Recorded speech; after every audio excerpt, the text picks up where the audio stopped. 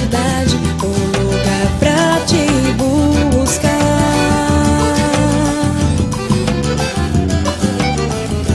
Um lugar onde as cores venham me mostrar amanhã que te